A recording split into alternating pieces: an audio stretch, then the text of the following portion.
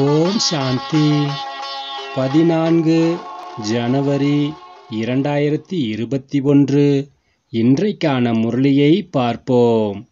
அனைத்து சகோதர சகோதரிகளுக்கும் பொங்கல் தின வாழ்த்துக்களை கூறிக்கொள்கிறேன். நமது இனிமையிலும் இனிமையான இறை தந்தை நமக்கு இப்போது இறை ஞானத்தை ஆசிரியராக இருந்து நமக்கு படிப்பித்து கொடுத்து கொண்டிருக்கின்றார். நம்முடைய தந்தை கூறுகின்றார் இனிமையான குழந்தைகளே பாபா உங்களுக்கு எந்த பாடம் படிக்க வைக்கின்றாரோ அதனை உங்களுடைய புத்தியில் வைத்துக்கொண்டு அனைவரையும் நீங்கள் படிக்க வைக்க வேண்டும். ஒவ்வொருவருக்கும் பாபா மற்றும் சிருஷ்டி சக்கரத்தின் அறிமுகங்களை நீங்கள் அனைவருக்குமே கொடுக்க வேண்டும் என்று நம்முடைய சிவபாபா கூறுகிறார். ஆத்மா சக்தியுகத்திலும் நடிக்கின்றது. இந்த கலியுகத்திலும் நடித்து கொண்டுதான் இருக்கின்றது. ஆனால் அதற்கும் இதற்கும் என்ன வித்தியாசம் என்பதை இப்போது பார்ப்போம். நாம் சக்தியுகத்தில் அதாவது ஆத்மாவாகிய நாம் சக்தியுகத்தில் நடிக்கும்போது எந்த ஒரு பாவ கர்மங்களும் செய்யாமல் அங்கு நடித்தோம். அங்கு நாம் ஒவ்வொரு செயலும் அங்கே நடுநிலை கர்மமாகவே இருக்கின்றது. ஏனென்றால் அங்கே ராவணனே இல்லை. பிறகு கலியுகத்தில் நடிக்க வரும்போதுதான் ஒவ்வொரு செயலும் விகர்மமாக அல்லது பாவ கர்மமாக ஆகிவிடுகிறது. ஏனென்றால் இங்கே விகாரங்கள் இருக்கின்றது கலியுகத்தில். இப்போது நாம் சங்கம யுகத்திலே இருக்கின்றோம். கலியுகத்தில்தான் ராவணன் என்ற அரக்க குணம் நம்மிடம் எழுகின்றது. அதனால்தான் பாவங்களை செய்கின்றோம். இப்போது நாம் சங்கம யுகத்திலே இருக்கின்றோம். நமக்கு அனைத்து ஞானமும் இருக்கின்றது. ஓம் சாந்தி. நாம் பாபா முன்பு இப்போது அமர்ந்து இந்த ஞானத்தை கேட்டுக்கொண்டிருக்கின்றோம் என்பது குழந்தைகளாகிய நமக்கு தெரியும். குழந்தைகள் நாம் அனைவருமே பாபா முன்று முன்பு அமர்ந்திருக்கின்றோம். பாபாவும் குழந்தைகளாகிய நம் முன்னாடி இருந்து ஆசிரியராக இருந்து நமக்கு இந்த பாடத்தை கற்பிக்கின்றார். எனவே பாபாவும் அறிகின்றார். பாபாதான் நமக்கு ஆசிரியராக இருந்து இந்த ராஜயோக கல்வியை நமக்கு கற்றுத் தருகின்றார். அந்த ராஜயோக கல்வியை நாம் பிறருக்கும் கொடுக்க வேண்டும். முதன் முதலில் பாபாவின் அறிமுகத்தை நாம் அடுத்தவர்களுக்கு கொடுக்க வேண்டும். ஏனென்றால் அனைவருமே பாபாவையும் பாபாவின் போதனைகளையும் மறந்து இப்போது இருக்கின்றார்கள். இப்போது பாபா என்ன படிக்க வைக்கின்றாரோ இந்த படிப்பு ஐந்தாயிரம் வருடங்களுக்கு பிறகுதான் இந்த பாடம் மீண்டும் கிடைக்கும். இந்த ஞானம் வேறு யாருக்குமே இல்லை. ஏனென்றால் அனைத்து ஆத்மாக்களுமே நம்முடைய இறை தந்தையை தவிர அனைத்து ஆத்மாக்களும் இந்த மனித உடலில் பிறவி எடுத்து நாம் பிறந்து நடித்து கொண்டிருக்கின்றோம். ஆனால் பிறப்பு இறப்பிற்கு அப்பாற்பட்டவராக நம்முடைய இறை தந்தை மட்டும்தான் இருக்கின்றார். அதனால்தான் அவருக்குள் அனைத்து ஞானமும் இருக்கின்றது. பாபாவின் அறிமுகத்தை நாம் அனைவருக்கும் கொடுக்க வேண்டும். பிறகு நாம் அனைவருமே சகோதரர்கள் என்பதை நாம் அனைவருக்கும் புரிய வைக்க வேண்டும். இந்த முழு உலகத்தில் இருக்கும் அனைத்து ஆத்மாக்களும் தங்களுக்குள் நாம் அனைவருமே சகோதரர்கள்தான். அனைவரும் தங்களுக்கு கிடைத்த நடிப்பை சரியாக நாம் நடித்து கொண்டிருக்கின்றோம்.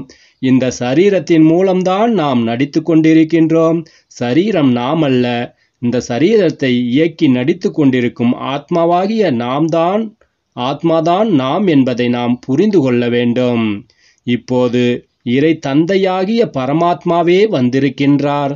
நம்மை அனைவரையும் புதிய உலகத்திற்கு அழைத்துச் செல்வதற்காக இப்போது நம்முடைய தந்தை வந்திருக்கின்றார். அதற்குத்தான் சொர்க்கம் என்று பெயர்.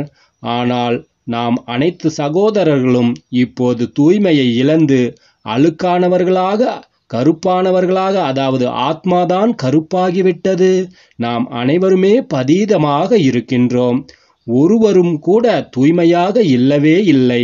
அனைத்து ஆத்மாக்களுமே இப்போது தூய்மையை இழந்து பதீதமானவர்களாக இருக்கின்றோம்.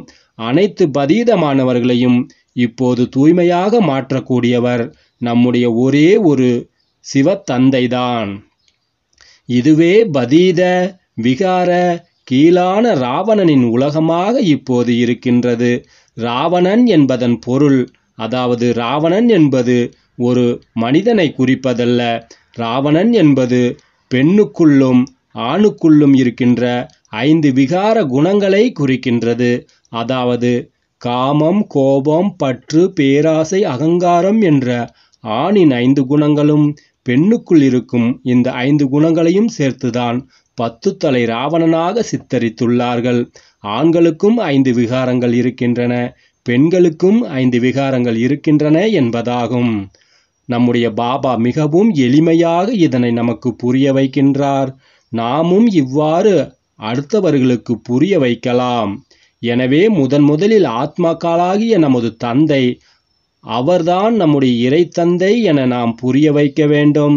நாம் அனைவருமே சகோதரர்கள் நம் அனைவருக்குமே தந்தை ஒருவர்தான். அவர்தான் அந்த அல்லாஹ் பிரம் அல்லாஹ் என்று அழைக்கப்படும் நம்முடைய சிவ தந்தையாவார் என அனைவருக்கும் சொல்லி புரிய வைக்க வேண்டும். நம்முடைய தந்தை ஒருவரே இது சரியா என அனைவருக்கும் நாம் கேட்க வேண்டும். நம் அனைத்து ஆத்மாக்களுக்கும் அவர் பரமாத்மா ஆவார். அவருக்குத்தான் தந்தை என்று பெயர்.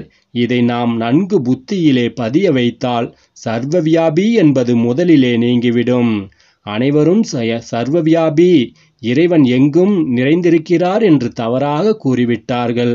அவர் யார் நாம் யார் என்பதை நாம் புரிய வைக்க வேண்டும். முதலில் தந்தையை பற்றி கல்வி புகட்ட வேண்டும். இதை நன்கு எழுதுங்கள் என்று சொல்ல வேண்டும். முன்பு சர்வவியாபி என்றேன் இப்போது சர்வவியாபி இல்லை என அவர்கள் புரிந்து கொள்வார்கள் நாம் அனைவருமே சகோதர சகோதரர்கள் அனைத்து ஆத்மாக்களும் இறை தந்தையே பரமத்தந்தை என கூறுகிறார்கள் தவறாக புரிந்து கொண்டிருக்கின்றார்கள் அதனால் நாம் ஆத்மாக்கள் நம்முடைய தந்தைதான் பரமாத்மா என்பதை புரிய வைக்க வேண்டும். முதலிலே நாம் ஆத்மா நாம் பரமாத்மா இல்லை என்ற நிச்சயம் இருக்க வேண்டும்.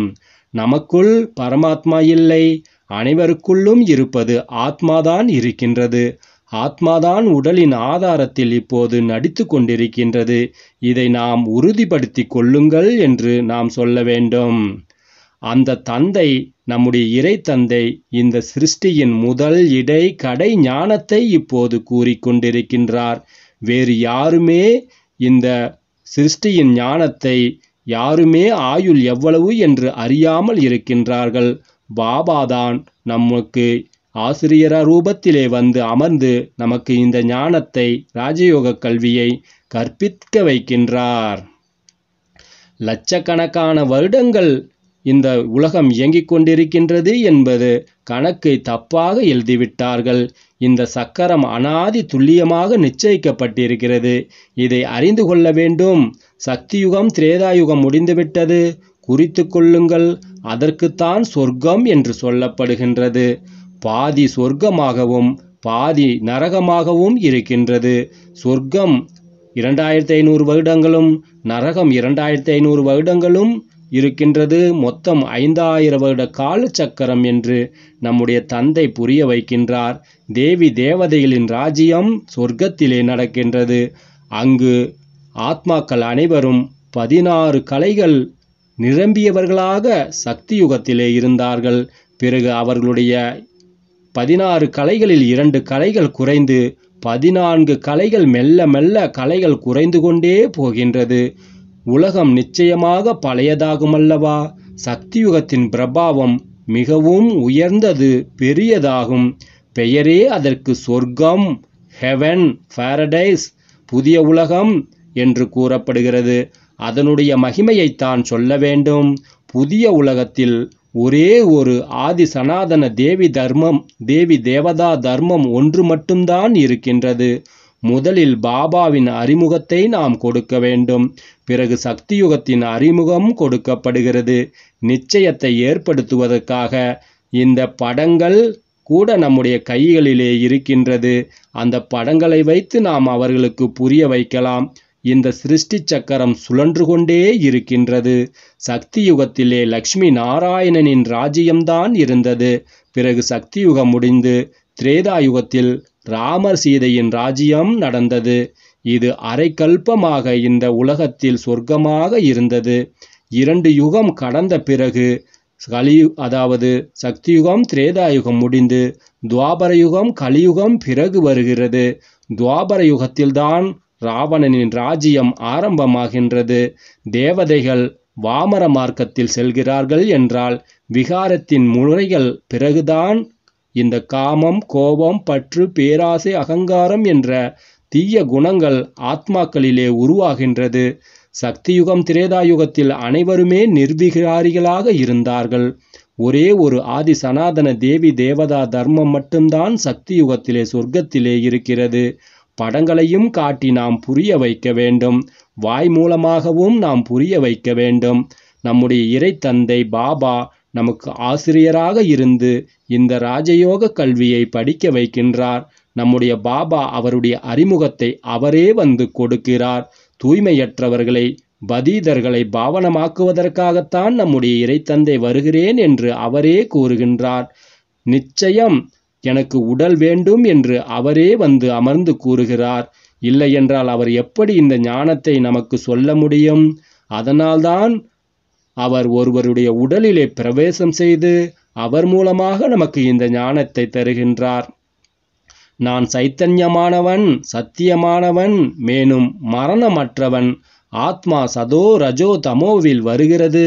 ஆத்மாதான் பாவனமாகவும் பிறகு பதீதமாகவும் மாறுகிறது. இதற்கு பதீத ஆத்மா பாவன ஆத்மா என்று பெயர்.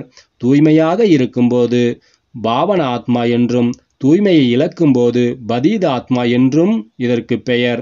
ஆத்மாவில்தான் அனைத்து சமஸ்காரங்களும் இருக்கிறது. ஆத்மாவில்தான் மனம் புத்தி சமஸ்காரம் அடங்கி இருக்கின்றது. கடந்த கால கர்மம் அல்லது விகர்மத்தின் சமஸ்காரத்தை ஆத்மாதான் பிறகு அடுத்த பிறவிக்கு எடுத்துச் செல்கிறது. சக்தி யுகத்திலே விகர்மங்களே நடப்பதில்லை. அங்கே கர்மங்களையும் காரியங்களையும் செய்கிறார்கள் நடிப்பையும் நடிக்கிறார்கள்.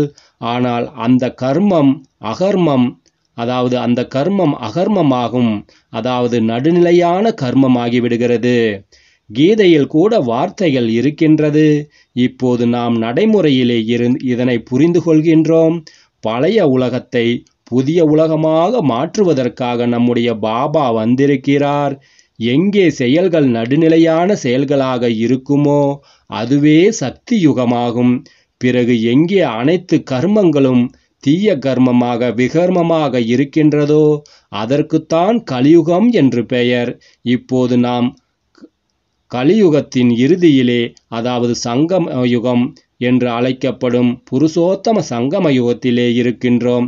சக்தியுகமும் கலியுகமும் சங்கமிக்கும் இந்த சங்கம யுகத்தில் நாம் இருக்கின்றோம். இருபுறத்தின் விஷயங்களையும் நாம் புரிய வைக்க வேண்டும். தந்தை நமக்கு அருமையாக புரிய வைத்து கொண்டிருக்கின்றார். சக்தியுகம் திரேதாயுகம் பவித்திரமான யுகமாகும். அங்கே எந்த ஒரு பாவ கர்மங்களும் நடப்பதில்லை. ராவண ராஜ்யம் ஆரம்பமாகும்போதுதான் பாவங்கள் விகர்மங்கள் நடைபெற துவங்குகின்றன.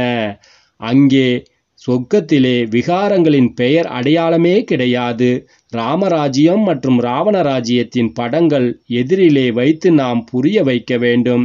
இதுதான் ஆன்மீக கல்வி என்று நமக்குடைய தந்தை நமக்கு புரிய வைக்கின்றார். பாபாவை தவிர வேறு யாருக்கும் இந்த ஞானம் தெரியவில்லை. இந்த கல்வியை நம்முடைய புத்தியில் நாம் வைத்துக்கொள்ள வேண்டும். பாபாவும் நமக்கு நினைவுக்கு வருகிறார். நம்முடைய ஐந்தாயிரம் வருட கால சக்கரமும் நம்முடைய புத்தியிலே நினைவுக்கு வருகிறது. ஒரே ஒரு நொடியில் அனைத்து நினைவுகளும் வருகின்றது. வர்ணனை செய்வது தாமதமாகிறது. இவற்றின் மூன்று ஃபவுண்டேஷன் இருக்கின்றது. இவற்றில் மூன்று ஃபவுண்டேஷன் இருக்கிறது. அதாவது விதை மரம் நினைவில் வரும்படியாக மரம் இருக்கிறது. இந்த விதை இந்த மரத்தினுடையது. இதிலிருந்துதான் இந்த மரம் இந்த பழம் எல்லாம் கிடைக்கிறது. இந்த எல்லையற்ற மனித சிருஷ்டி என்ற மரம் எப்படி இருக்கிறது என்கிற ரகசியத்தை நாம் இப்போது புரிந்து கொள்ள வேண்டும். அரை கல்பத்திற்கு ராஜ்யம் எப்படி நடக்கும்?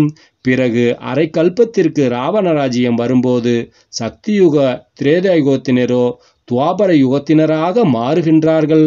அங்கு வசித்த ஆத்மாக்கள் தான் தூய்மையை இழந்து பிறகு ராவண குணத்திலே வருகிறார்கள் என்பது அனைத்து குழந்தைகளுக்கும் புரிய வைக்கப்பட்டிருக்கிறது. யாரெல்லாம் சொர்க்கத்தில் வாழ்ந்தார்களோ தூய்மையாக இருந்தார்களோ தேவி தேவதைகளாக இருந்தார்களோ அவர்கள்தான் தூய்மையை இழந்து இப்போது பூசாரிகளாக ஆகி பூஜை செய்து கொண்டிருக்கின்றார்கள். மரம் வளர்ச்சி அடைந்து கொண்டே இருக்கிறது. பிறகு மற்ற தர்மங்களும் இந்த பூமியிலே வந்து கொண்டே இருக்கின்றது. அரை கல்பத்திற்கு பிறகு ராவண ராஜ்யம் உருவாகிறது. விகாரி ஆகிவிடுகிறார்கள். அனைவருமே பாவங்களை செய்ய துவங்கி விடுகிறார்கள். பாபாவிடமிருந்து கிடைத்த சொத்து அனைத்தையும் இழந்து கொண்டே இருக்கின்றார்கள். பாபாவிடமிருந்து கிடைத்த சொத்து அரை கல்பத்திற்கு இருந்தது. அவர்கள் பிறகு அதனை அனுபவித்துவிட்டு பிறகு பாவம் செய்ய துவங்கி விடுகிறார்கள். ஞானத்தை கூறி சொத்து கொடுத்தார். நமக்கு இந்த ஞானத்தை போன கல்பத்திலும் கொடுத்து நமக்கு சொத்தை கொடுத்தவர் நம்முடைய இறைத்தந்தை பாபா ஆவார். அந்த பலனை நாம் சொர்க்கத்திலே அனுபவித்தோம். பிறகு பாவம் செய்யும்போது நாம் துன்பத்தை அனுபவித்துக் கொண்டிருக்கின்றோம். அதாவது சக்தியுகம் திரேதாயுகத்தில் நாம் சுகமாக இருந்தோம். அதற்கு சுகதாமம் சக்தியுகம் என்று பெயர். அங்கே துக்கம் துக்கத்தின் பெயர் அடையாளம் கூட நமக்கு அங்கே ஏற்படவில்லை. எவ்வளவு எளிதாக நமக்கு தந்தை புரிய வைக்கின்றார். நாமும் அடுத்தவர்களுக்கு இந்த ஞானத்தை எளிமையாக புரிய வைக்க வேண்டும். ஒருவருக்கு புரிய வைத்தாலும் அல்லது பலருக்கு இந்த ஞானத்தை நாம் புரிய வைத்தாலும் புரிந்து கொள்கிறார்களா? இல்லை ஆம் ஆம் என்று ஊம் போடுகிறார்களா? என்று நாம் கவனம் கொடுக்க வேண்டும். சிலர் புரிந்து கொள்ளாமல் ஆம் ஆம் என்று சொல்லிக்கொண்டே இருப்பார்கள். எனவே நாம் குறித்து கொள்ள வேண்டும். ஏதாவது சந்தேகம் இருந்தால் கேளுங்கள் என்று நாம் சொல்ல வேண்டும். எந்த ஒரு விஷயம் யாருக்கு தெரியவில்லையோ அதை நாம் புரிய வைக்கின்றோம். நாம் இப்போது எதை புரிந்து கொள்ளவில்லை என்றால் பிறகு என்ன கேட்டீர்கள் என்று நாம் கேட்க வேண்டும். இதையும் கூட புரிந்து கொள்ளவில்லை என்றால் இன்ன வரைக்கும் என்ன ஆம் ஆம் என்று கேட்டீர்கள் என்று நாம் என்று கேட்க வேண்டும். பாபா இந்த எல்லையற்ற மரத்தின் ரகசியத்தை நமக்கு புரிய வைக்கின்றார். எப்படி விதையிலிருந்து இந்த மதம் எப்படி மரம் உருவாகிறது என்ற ரகசியத்தை நமக்கு புரிய வைக்கின்றார். இந்த ஞானம்தான் ராஜயோக கல்விதான் இப்போது நமக்கு புரிந்து வைக்கப்படுகிறது. நாம் எண்பத்தி நான்கு பிறவிகளின் சக்கரத்தில் எப்படி வருகின்றோம் என நம்முடைய பாபா நமக்கு சுலபமாக புரிய வைக்கின்றார். இதை நாம் நன்கு குறித்து கொண்டு இதை பற்றி நாம் சிந்தனை செய்து பயிற்சி செய்து ப அடுத்தவர்களுக்கும் புரிய வைக்க வேண்டும். டீச்சர் எப்படி கட்டுரை கொடுக்கிறார்கள் என்றால் வீட்டிலே சென்று அதை ரிவைஸ் செய்து வருவார்கள் அல்லவா? அதே போல நம்முடைய தந்தை கொடுக்கும் இந்த ஞானத்தையும் நாம் குறிப்பெடுத்து வைத்துக்கொண்டு நாம் மனதில் இதனை சிந்தனை கடலில் சிந்தனை செய்து அதாவது கடலில் ஞான அமிர்தத்தை கடைந்து நம்முடைய அமிர்தத்தை பருக வேண்டும் ரிவை செய்து வருவதுகள் அல்லவா? அதே போல நாமும் இதனை ரிவை செய்ய வேண்டும். இந்த ஞானத்தை கொடுக்கின்றோம் என்றால் பிறகு என்ன நடக்கிறது என பாருங்கள். கேட்டுக்கொண்டே இருங்கள். ஒவ்வொரு விஷயத்தையும் நன்கு புரிய வைக்க வேண்டும். நம்முடைய அப்பாவின் டீச்சரின் கடமையை புரிய வைத்து பிறகு குருவை பற்றி நாம் புரிய வைக்க வேண்டும். அதாவது தூய்மை இழந்து கிடக்கும் ஆத்மாக்களை பதீதர்களாகிய நம்முடைய சகோதர ஆத்மாக்களுக்கு இந்த ஞானத்தை நாம் கொடுக்க வேண்டும். எங்களையும் பாவனமாக்குங்கள் என்று அனைவருமே பக்தி மார்க்கத்தில் இறைவனைத்தான் அழைத்தார்கள். ஆத்மா தூய்மையாகிறது என்றால் சரீரமும் தூய்மையாக கிடைக்கிறது. தங்கத்தை போன்று நகை உருவாகிறது. இருபத்தி நான்கு கேரட் தங்கம் எடுப்பார்கள். பிறகு கலப்படம் செய்யவில்லை என்றால் நகையும் சதோ பிரதானமாக இருக்கும். கலப்படம் செய்வதால்தான் தமோ பிரதானமாக நகையின் அதாவது நகையின் தன்மை நகையின் குணம் குறைந்து விடுகிறது. ஆக முதன் முதலில் இந்த பாரதம் நம்முடைய தேசம் இருபத்தி நான்கு கேரட் சுத்த தங்கமாக பறவையாக இருந்தது. அதாவது மிக தூய்மையான புதிய உலகமாக நம்முடைய பாரத தேசம்தான் இருந்தது. பிறகு இதே பாரத தேசத்தில் உள்ள ஆத்மாக்கள் அழுக்காகி விட்டதால் இந்த பாரதமும் ஏழ்மையாகி அழுக்காகி விட்டது. அந்த தந்தைதான் நமக்கு வந்து இதனை புரிய வைக்கின்றார். மேலும் வேறு எந்த மனித குருக்களும் இதனை அறியாமல்தான் இருக்கின்றார்கள். வந்து எங்களை தூய்மையாக்குங்கள் என அனைவருமே அழைக்கிறார்கள். குருவின் வேலையாகும் வயோதிக நிலையை அடையும் போது மனிதர்கள் மனிதர்கள் குருவை தேடி குருக்களை நாடி ஏற்றுக்கொள்கிறார்கள். சப்தத்திலிருந்து விடுபட்ட இடத்திற்கு நிராகார உலகம் என்று பெயர். அங்கே ஆத்மாக்கள் நிலையாக அங்கேதான் நாம் அனைவருமே இருந்தோம். இது இப்போது நாம் வசிக்கின்ற இந்த உலகம் ஸ்தூல உலகமாகும்.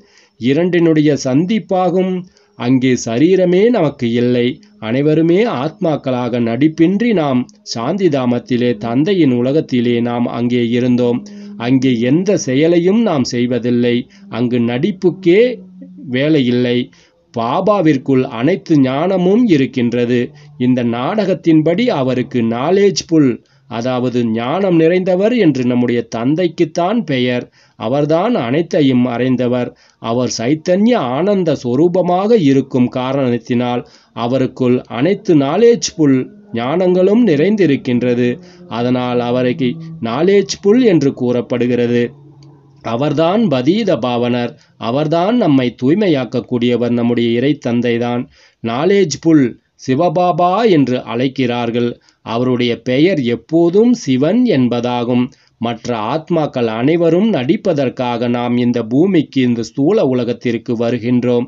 வெவ்வேறு பெயரை தாரணை செய்கிறார்கள். தந்தையை வெவ்வேறு பெயர்களில் அழைக்கிறார்கள். ஆனால் அவர்களுக்கு எதுவுமே புரியவில்லை. நிச்சயமாக பாக்கியசாலி ரதம் இருக்கும். அவருக்குள் தான் நம்முடைய இறைத்தந்தை பாபா பிரவேசமாகி நமக்கு இந்த ஞானத்தை கொடுக்கின்றார். நம்மை அனைவரையும் பாவன உலகத்திற்கு அழைத்து செல்லத்தான் வந்திருக்கின்றார். இனிமையிலும் இனிமையான குழந்தைகளே என்று நம்முடைய அன்பு தந்தை அழைக்கின்றார். யாரெல்லாம் பல பிறவிகளை எடுத்து கடைசியில் உள்ளாரோ? முழுமையாக யார் எண்பத்தி நான்கு பிறவிகளை எடுத்திருக்கிறாரோ? அவருடைய உடலில்தான் நம்முடைய தந்தை வந்து பிரவேசிக்கிறேன் என்று கூறுகின்றார். நம்முடைய தந்தையே இதனை புரிய வைக்கின்றார். முதல் நம்பரில் ஸ்ரீ கிருஷ்ணர்தான் சொர்க்கத்தில் முதல் பிறவியை எடுத்தார். அவரே பல பிறவிகளை எடுத்து கடைசி பிறவியில் சாதாரண பிறவியில் அவருடைய உடலில்தான் பிரவேசம் செய்து அவருக்கு பிரம்மா என்ற பெயரையும் வைத்து அவர் மூலமாக நமக்கு இந்த ஞானத்தை நம்முடைய இறை தந்தை கொடுத்து கொண்டிருக்கின்றார். புது உலகத்திற்கு அதிபதி அவரேதான். கீழே இறங்கி இறங்கி தங்கத்திலிருந்து வெள்ளியாகவும் செம்பாகவும் பிறகு இரும்பு யுகத்திற்கு வந்து விடுகிறார் நம்முடைய கிருஷ்ணருடைய ஆத்மா. அடுத்தடுத்த பிறவியில் அவருக்கு வேறு வேறு பெயர்கள் இருக்கின்றது. அவருடைய முதல் பிறவிதான் அவருக்கு கிருஷ்ணர். பிறகு படிப்படியாக நிறைய பிறவிகளை எடுத்து கடைசி பிறவியில் பிரம்மா என்ற உடலிலே நம்முடைய இறைவன் வந்து இதற்கு பெயர் வைக்கின்றார். இப்போது மீண்டும் நாம் இரும்பிலிருந்து தங்கமாக மாறிக்கொண்டிருக்கின்றோம். நம்மையெல்லாம் மாற்றிக்கொண்டிருப்பவர் நம்முடைய இறை தந்தையாவார் நம்முடைய தந்தை கூறுகின்றார் தந்தையை மட்டும் நினைவு செய்யுங்கள் என்று கூறுகின்றார். நாம் தந்தையை மட்டும் நினைவு செய்தோம் என்றால் நாம் தந்தையை போன்று தூய்மையாகி விடுவோம். நம்முடைய தந்தை யாருக்குள் பிரவேசமாகிறாரோ அவருடைய ஆத்மாவில் சிறிதும் ஞானம் இல்லாமல் தான் இருந்தது.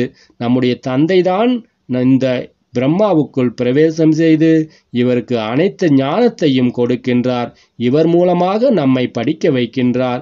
இவருக்குள் தந்தை பிரவேசிக்கிறேன் என்று கூறுகின்றார். ஆகவே இவருக்கு பாக்கியசாலி ரதம் என்று கூறப்படுகிறது இந்த பிரம்மாவிற்கு. இப்படி நம்முடைய தந்தை பிரவேசிக்கவில்லை என்றால் அனைவரையும் விட உயர்ந்தவர் இந்த லக்ஷ்மி நாராயணனாவார். இவருக்குள் தானே பிரவேசமாக வேண்டும். இவர்தானே உயர்ந்த பிறவியாக இருந்தார். அதனால் அவருக்குள் பிரவேசமாகி அவரையே உயர்ந்தவராக மீண்டும் ஆக்குகிறார்.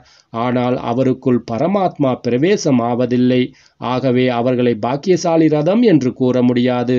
ரதத்தில் வந்து பதீதமானவர்களை பாவனமாக மாற்ற வேண்டும். எனவே நிச்சயம் கலியுகம் தமோ பிரதானமாக இருக்கும் அல்லவா நான் பல பிறவிகளின் கடைசியிலே வருகிறேன் என்று நம்முடைய தந்தையே கூறுகின்றார்.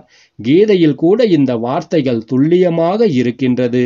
கீதைதான் அனைத்து சாஸ்திரங்களின் தாய் என்று கூறப்படுகிறது. இந்த சங்கம யுகத்தில்தான் நம்முடைய தந்தை வந்து பிராமண குலத்தை உருவாக்குகின்றார் மற்றும் தேவதா குலத்தை ஸ்தாபனை செய்து கொண்டிருக்கின்றார். பல பிறவிகளின் கடைசியிலே அதாவது சங்கம யுகத்தில்தான் நம்முடைய இறை தந்தை வருகின்றார். நான் விதை வடிவமாக இருக்கிறேன் என பாபாவே வந்து கூறுகிறார். கிருஷ்ணரோ சக்தி யுகத்தின் வாசியாவார். சக்தி யுகத்திலே பிறப்பெடுத்து நடிக்கக்கூடியவர் இந்த கிருஷ்ணர். அவரை வேறு எங்கும் பார்க்கவே முடியாது. கிருஷ்ணர் என்பது ஒரு பிறவிதான். அந்த முதல் பிறவிக்கு பிறகு அந்த அவருடைய ஆத்மா வேறு பிறவியை எடுக்க மறுபிறவி எடுத்து விடுகிறது. மறுபிறவி எடுக்கும்போது அந்த கிருஷ்ணருடைய ஆத்மாவிற்கு பெயர் உருவம் தேசம் காலம் அனைத்துமே மாறிவிடுகிறது. தோற்றமே மாறிவிடுகிறது. முதலில் சிறிய குழந்தையாக அழகாக அந்த ஆத்மா பிறவி எடுக்கிறது. பிறகு பெரியதாகிறது. பிறகு அது சரீரத்தை விட்டு இன்னொரு சிறிய உடலை எடுத்து நடிக்கச் சென்று விடுகிறது. இது ஏற்கனவே நிச்சயிக்கப்பட்ட விளையாட்டாகும். நாடகத்தில் இந்த நடிப்புக்கள் அனைத்தும் நிச்சயிக்கப்பட்டிருக்கிறது. இன்னொரு சரீரத்தை எடுத்த பிறகு அவரை கிருஷ்ணர் என்று கூற முடியாது. வேறு உடலின் பெயர் போன்றவை வேறாக இருக்கும். நேரம் தோற்றம் நாள் தேதி அனைத்துமே மாறிவிடுகிறது. இந்த உலகத்தின் வரலாறு புவியியல் அப்படியே ரிப்பீட் ஆகும் கல்பத்திற்கு பிறகு என்று கூறப்படுகிறது. எனவே இந்த நாடகமும் ரிப்பீட் ஆகிக்கொண்டே இருக்கிறது. சதா நாம் சதோ குணத்திலிருந்து ரஜோ குணத்திற்கும் தமோ குணத்திற்கும் வர வேண்டும். இந்த சிருஷ்டியின் பெயர் யுகத்தின் பெயர் அனைத்துமே மாறிக்கொண்டே இருக்கின்றது. சக்தியுகம் திரேதாயுகம் துவாபரயுகம் கலியுகம் என்று மாறிக்கொண்டே இருக்கிறது. இப்போது நாம் இருப்பது இது சங்கம யுகமாகும். இந்த சங்கம யுகத்தில்தான் நம்முடைய தந்தை வந்து நமக்கு இந்த ஞானத்தை கொடுக்கிறார். நான் உங்களுக்கு முழு உலகின் வரலாறு புவியலின் உண்மையை கூறுகிறேன் என்று கூறுகின்றார். ஆரம்பத்திலிருந்து கடைசி வரை வேறு எதையுமே அறியவில்லை. சக்தியுகத்தின் ஆயுள் எவ்வளவு என்பது தெரியாத காரணத்தினால் லட்சக்கணக்கான வருடங்கள் என மனிதர்கள் கூறுகிறார்கள். இப்போது நம்முடைய புத்தியில் அனைத்து விஷயங்களையும் நம்முடைய தந்தை பதிவு வைக்கின்றார். தந்தை தந்தையாகவும் ஆசிரியராகவும் சத்குருவாகவும் இருந்து நமக்கு இந்த ஞானத்தை சொல்லிக் கொடுத்து கொண்டிருக்கின்றார் என்பதை நாம் உறுதிப்படுத்தி கொள்ள வேண்டும். அவர் மீண்டும் சதோபிரதானம் ஆவதற்கான நல்ல வழிமுறைகளை நம்முடைய தந்தை கூறுகின்றார். நம்முடைய தேகம் உட்பட தேகத்தின் அனைத்து தர்மங்களையும் நாம் விட்டுவிட்டு நாம் அனைவருமே தன்னை ஆத்மா என உணர வேண்டும் என கீதையில் கூட இருக்கின்றது. திரும்ப திரும்ப தன்னுடைய வீட்டிற்கு நிச்சயம் போக வேண்டும்.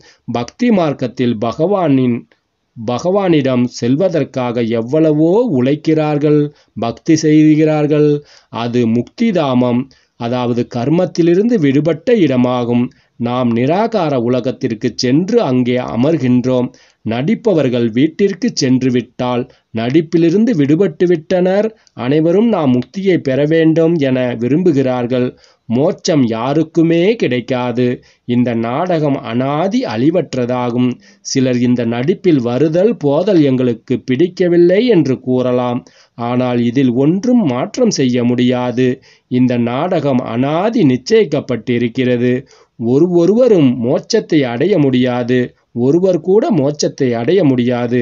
அது அனைத்தும் பலவிதமான மனித வழிகளாகும். அவர்கள் பல்வேறு விதமாக எழுதிவிட்டார்கள். நாம் இப்போது இது சிரேஷ்டமாவதற்கான ஸ்ரீமத்தாகும் கிருஷ்ண தேவதா வைகுண்டத்தின் இளவரசன் ஆவார் அவர் இங்கே எப்படி வருவார்? அவர் கீதையை கூறவில்லை. சிவனுக்கு முன்பு சென்று எங்களுக்கு முக்தி அளியுங்கள் என்று கூறுகிறார்கள் மனிதர்கள். அவர் ஒருபோதும் ஜீவன் முக்தியிலோ ஜீவன் பந்தனத்திலோ நம்முடைய இறைத்தந்தை வருவதில்லை. ஆகையால்தான் முக்தி அளியுங்கள் என அவரை அழைக்கிறார்கள். ஜீவன் முக்தியையும் அவரே கொடுக்கிறார். ஓம் சாந்தி. மிகவும் நல்லது. இனிமையிலும் இனிமையான வெகுகாலமாய் காணாமல் போய் மீண்டும் கண்டெடுக்கப்பட்ட செல்லமான குழந்தைகளாகிய நமக்கு நம்முடைய தாயும் தந்தையுமாகிய பாப் தாதா நமக்கு அன்பு நினைவுகளையும் காலை வணக்கங்களையும் நமஸ்காரங்களையும் கூறிக்கொள்கிறார். நாமும் நம்முடைய இறை தந்தைக்கு அன்பு நினைவுகளையும் காலை வணக்கங்களையும் நமஸ்காரங்களையும் கூறிக்கொள்வோம். நம்முடைய தந்தை கூறும் தாரணையின் முக்கியமான சாரங்களை நாம் இப்போது பார்ப்போம். முதலாவது சாரமாக அதாவது நாம் அனைவருமே ஆத்மாக்கள் என்ற ரூபத்தில் சகோதரர்கள் இந்த பாடதத்தை உறுதிப்படுத்தி கொள்ள வேண்டும் உறுதிப்படுத்தவும் வேண்டும். தனது சமஸ்காரங்களை நினைவினால் சம்பூர்ண தூய்மையாக்க வேண்டும். இரண்டாவது நாம் இருபத்தி நான்கு கேரட் உண்மையான தங்கமாக மாறுவதற்கு கர்மம் அகர்மம் விகர்மத்தின் ஆழமான விளைவுகளை நம்முடைய புத்தியிலே வைத்து எந்த ஒரு பாவ கர்மமும் விகர்மமும் இப்போது நாம் செய்யக்கூடாது. தந்தையளிக்கும் வரத்தை கேட்போம். தகுந்த நேரத்தில் குணங்கள் மற்றும் சக்திகளை பயன்படுத்தக்கூடிய அனுபவ மூர்த்தி ஆகுங்கள் என்று நம்முடைய தந்தை வரத்தை அளிக்கின்றார். இதனுடைய விளக்கத்தை இப்போது பார்ப்போம். நாம் பிராமண வாழ்க்கையின் விசேஷத்தன்மையே அனுபவமாகும். ஏதேனும் ஒரு குணத்தில் அல்லது சக்தியின் அனுபவம் நமக்கு ஆகவில்லை என்றால் எப்போதாவது நமக்கு தடைகளுக்கு வசப்பட்டு விடுகிறோம் என்றால் இப்போது அனுபவத்தின் பாடத்தை நாம் தொடங்க வேண்டும். அனைத்து குணங்கள் மற்றும் சக்திகளின் பொக்கிஷங்களை நாம் பயன்படுத்த வேண்டும். எந்த சமயத்தில் எந்த குணத்தின் தேவை இருக்கிறதோ அப்போது அந்த குணத்தின் சொரூபமாகிவிட வேண்டும். நாம் ஞானத்தின் ரீதியாக நம்முடைய புத்தியை பயன்படுத்த வேண்டும். புத்தி என்ற பெட்டகத்தில் பொக்கிஷங்களை வைத்து விடாதீர்கள். அவற்றை பயன்படுத்துங்கள் என்று நம்முடைய தந்தை கூறுகின்றார். அப்போதுதான் நாம் வெற்றியாளர்களாக ஆக முடியும். மேலும் ஆகா பாபா ஆகா சங்கமயுகம் என்று நான் நாம் கூறிக்கொண்டே இருக்க வேண்டும். ஆகா நான் என்ற பாடலை எப்போதும் நாம் பாடிக்கொண்டே இருக்க வேண்டும். ஸ்லோகன். பலவீனமான எண்ணங்களை முடித்துவிட்டு சக்திசாலி எண்ணங்களை உருவாக்கக்கூடியவர்கள்தான் டபுள் லைட் ஆக இருப்பார்கள். எனவே சக்திசாலி எண்ணங்களை நாம் வளர்த்து கொள்ள வேண்டும். ஓம் சாந்தி.